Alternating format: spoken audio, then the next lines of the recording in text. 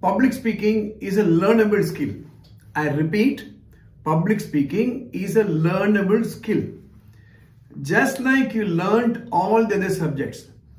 For example, you learned economics, you learned physics, chemistry, biology in the school days, or you learned how to do your work in an organization. You learned cooking, you learned swimming, you learned singing. So all those things are also not known to you once. Remember when you wanted to cycle first time?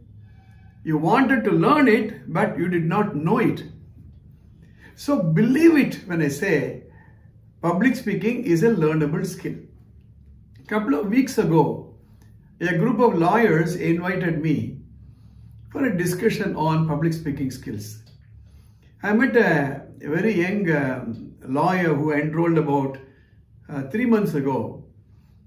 Actually, he has done exceedingly well in the law college. But the problem was, he knows the subject, but he was suffering from the glossophobia we were discussing about. What is the point in wanting to be a lawyer where you have to go convince a judge? In the same court hall, there will be a lot of advocates, some of them very senior to you. Clients may be watching you. Just visualize a scenario like that. He said, Sir, I was fumbling. Right? Another lawyer said, Sir, I have about five years experience as a lawyer. I'm thorough in my case, but when it comes to presenting in front of a judge, I have a knee-jerking uh, experience. How do you help me, sir? And the same thing is uh, expressed to me in executive meetings. When you want to present a very difficult um, project to a managing director, chairman, or a board member, how are you going to present it? I was talking to a um, chief executive officer of a multinational.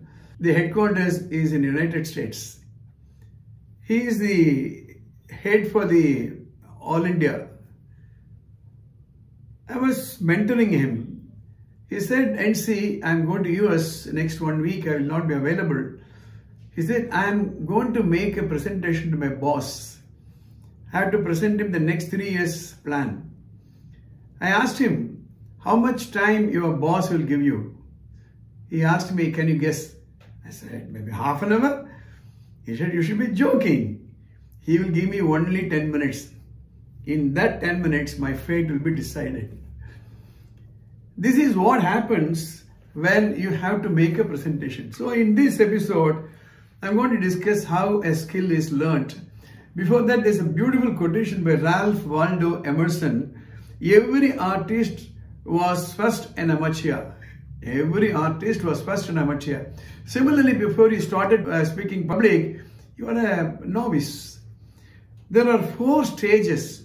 You may make a note of it. One is unconscious incompetence. There is, uh, let me give a simple example of uh, learning to cycle.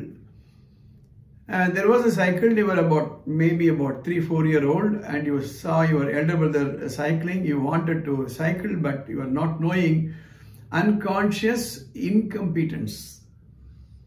You were unconscious until you saw your brother cycling. Right? You're unconscious. You didn't know that there is a cycle, there is a cycling and all that.